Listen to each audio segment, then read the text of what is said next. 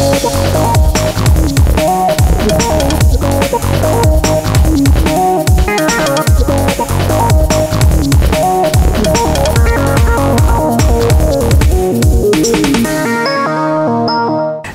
Здравствуйте! В эфире нашего телеканала информационная программа «7 минут».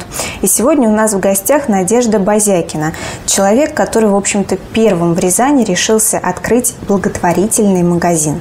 Здравствуйте, Надежда. Здравствуйте. Если можно, а, расскажите о том, как вы пришли вот а, к такому намерению, к такому решению, с чего все начиналось. Ну, это очень долго начиналось, и это не сразу был, была идея, появилась создать благотворительные магазины и социальный бизнес. Мы этого всего не знали, потому что в России этого нет ничего. А, Но ну, сначала я работала, работала наемным рабочим, можно так сказать, сотрудником. И потом как-то вот пришла к мысли, что пора уже как-то обозначиться себя вот как индивидуальный предприниматель. Вот. Некоторое время я не работала, занималась э, дома какими-то вот мы с мужем мониторили волонтерские группы рязанские в социальных сетях и как бы смотрели посты и оказывали просто посильную помощь. Вот посильную в плане не материальную поддержку, а что-то кому-то перевести, что-то помочь, там ремонт инвалид ДЦП мы делали, в Шилово ездили. Вот. И как-то вот э, все лето прошлое, вот в прошлом году, мы ездили, все, все вот это делали, помогали и поняли, что у нас появилась отдельная статья расходов, и нужно под нее подписывать, создавать отдельную статью доходов.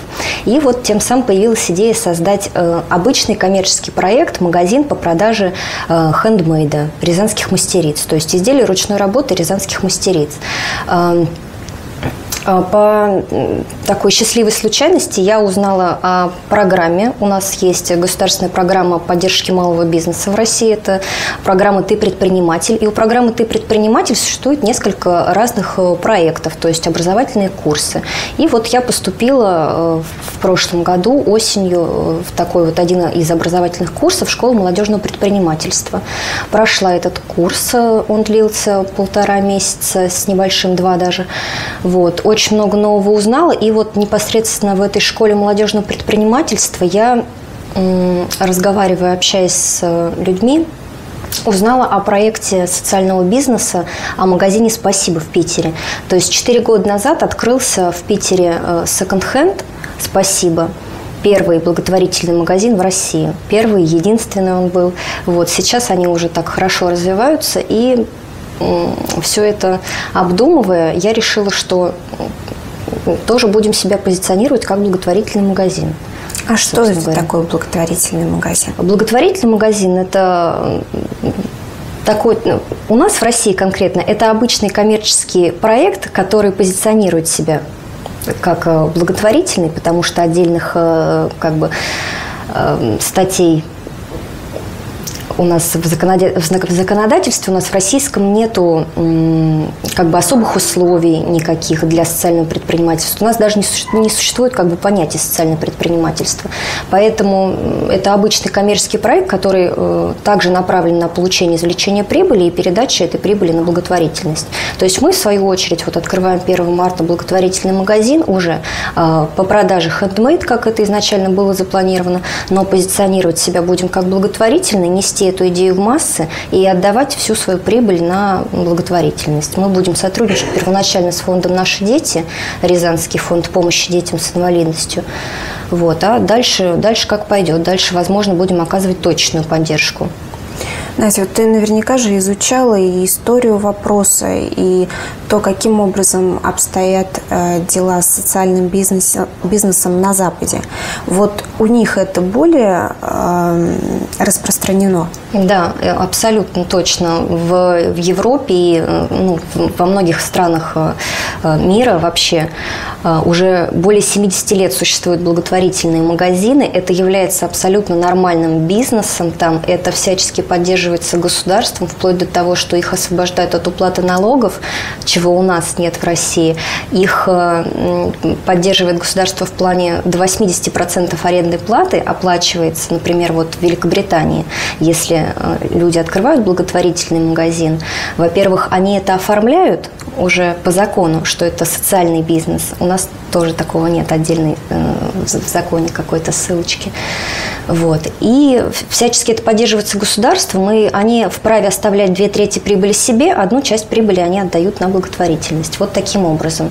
И то есть в Европе это очень популярно, очень-очень много существует благотворительных магазинов, и работают они давно. И самое главное, это является нормальным бизнесом. С твоей точки зрения, в России сегодня это нужно? Я имею в виду благотворительные вот, магазины вот. и, может быть, какой-то пересмотр законодательства.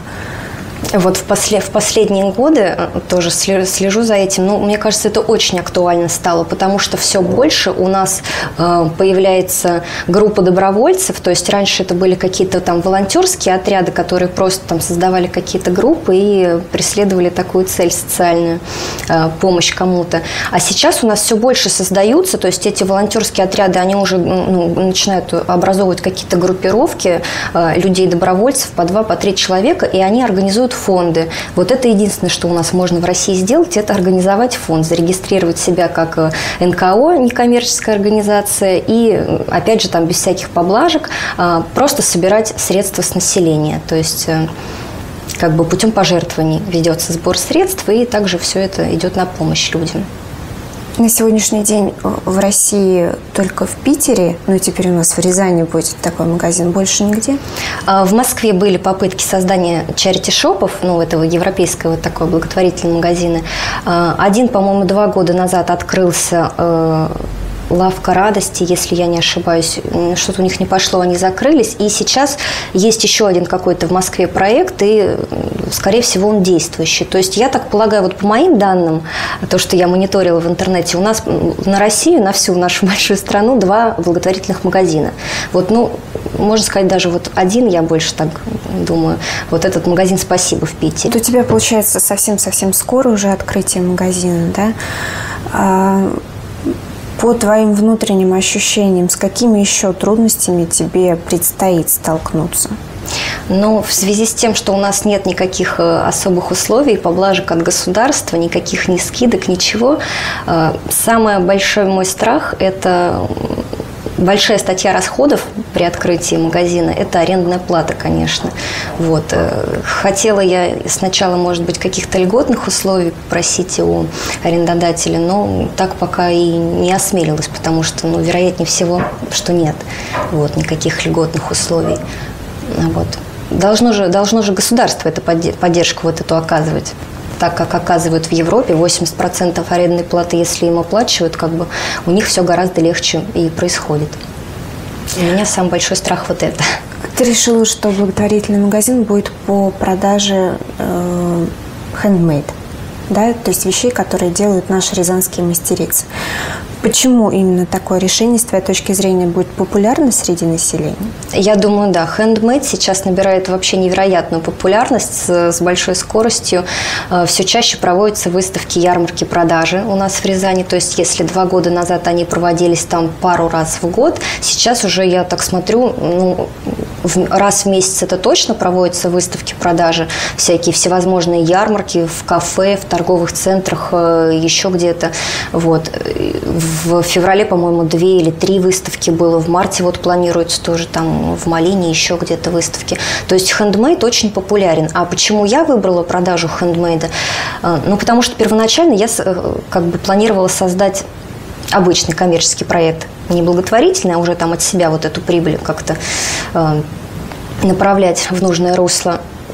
И почему хендмейд? Потому что у меня есть очень много знакомых, которые сидят, например, сейчас мамочки дома в декрете, и они не работают, и они себя, чтобы как-то обеспечить, э, занимаются там э, изготовлением украшений, мыловарением, то есть всевозможные вот хендмейд, всевозможная ручная работа. И продают они свои работы посредством социальных сетей. И очень там такая ситуация плачевная. То есть это несколько заказов в месяц, это, это деньги, это или не деньги. И я решила организовать для них стационарную точку. То есть это еще и огромная поддержка рязанским нашим мастерицам. То есть вот их, их работы, они должны лежать на стационарной точке продаж, я так считаю, взамен э, китайским каким-то изделиям, бижутерия вот это вот ширпотребное.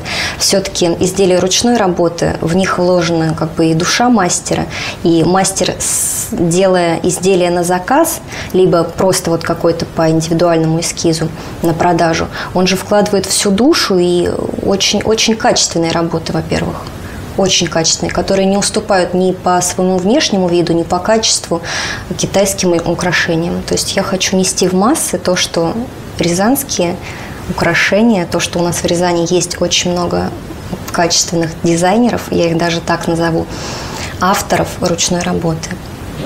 Ну что ж, Надя, спасибо большое что ты к нам сегодня пришла. Мы желаем удачи тебе в твоем проекте. Надеемся, что все у тебя получится. И, может быть, кто-то из наших телезрителей э, тоже задумается над тем, что в России все-таки нужно развивать социальный бизнес. Спасибо. Ну, а на этом наша программа подходит к концу. Мы желаем вам всего самого доброго. До встречи в новых выпусках.